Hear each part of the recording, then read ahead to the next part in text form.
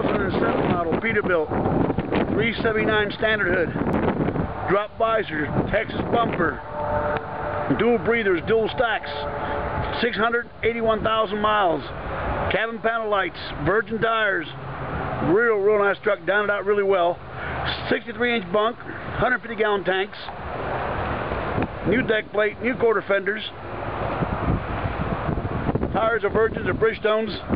going to say they're easy, 90%, all aluminum wheels, clean, clean frame as you can see,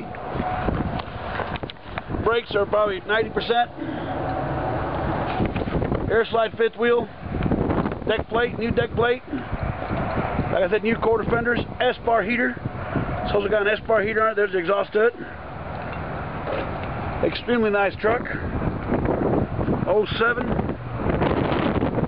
to go to work.